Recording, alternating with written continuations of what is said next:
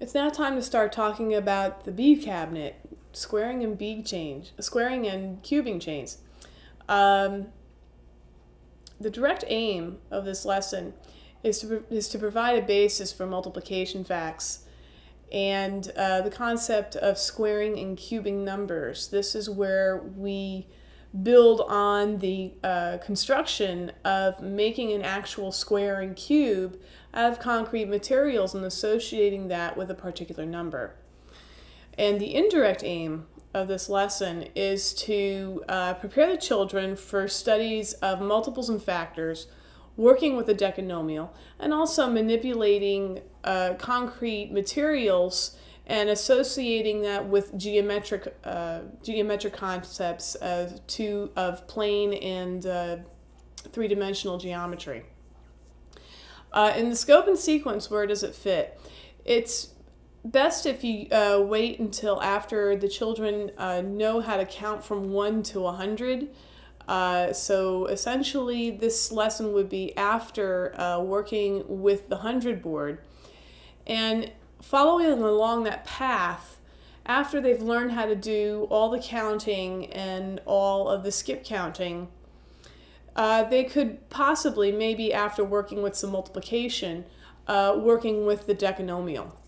After all, the bead cabinet is another manipulation of what you do in the decanomial. The decanomial and the bead cabinet, in the end, have a hand in hand to hand relationship.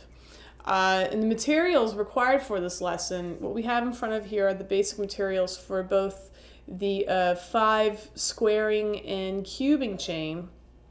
And uh, the cabinet has both sets of tags, and the tags are normally housed in boxes like this. So you have the larger box uh, for the tags uh, for the cubing chain and the smaller box for the squaring chain.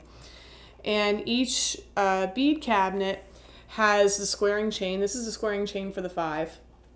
And in front of us here is the cubing chain. And then in addition to that, you're going to have the required amount of squares for each number. And of course, you have five squares of five. And uh, these five squares of five, if put together, would constitute of the cube. So uh, the bead cabinet continually displays this to the children uh, on a daily basis so that the whole idea, you know, you're kind of setting you're kind of setting an organization in the child's mind. If they're constantly seeing it arranged in a specific way, they're going to see some logic and it's going to be imprinted in their brain where they can refer to that uh, image later on when looking at different uh, materials. And again, the decanomial is a manipulation of the bead cabinet. When you do the decanomial, say, wait a minute, what we have here is what we've had up on the wall all along. So uh, the way that the uh, chains are displayed and the and the and the squares and the cubes, it's really going to uh, help children visualize their multiplication facts and multiples and factors in a, in a multitude of different ways. It's a it's another it, you're presenting so many different ways of learning a specific fact, and that's what makes multisensorial you know multi multiple intelligences multiple multiple multiple ways of learning of a specific fact will make things a lot more meaningful. So, um, in addition to that, uh, we also uh, use very long mats, but I don't have one with me at this point. But um, there are mats that are specifically made for either the uh, the squaring chains and the cubing chains. Uh, a square, uh, a longer mat should be able to carry the um, the golden uh, million chain, not the million chain. I'm sorry, the thousand chain. And uh, so if you have one of those, that should be okay for using it for the rest of the uh, cubing chains. You just roll out the amount of space that you need. And the same thing would go for the squaring chain. You could have a mat that goes as far as the 10 square chain and then you just roll up as much as you want. Some teachers have made particular mats for uh, specific chains. If you have enough time to do that, be my guest. You can even color code it.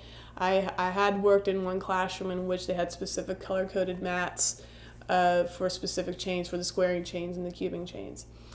Uh, but uh, for also for the older students too, after they've done it uh, in a long row, you can have them uh, lay it out in a spiral, which makes things a little bit more uh, challenging for them to move along. But at that point, they should not be counting 1, 2, 3, 4, 5, 6, 7, 8, 9, 10.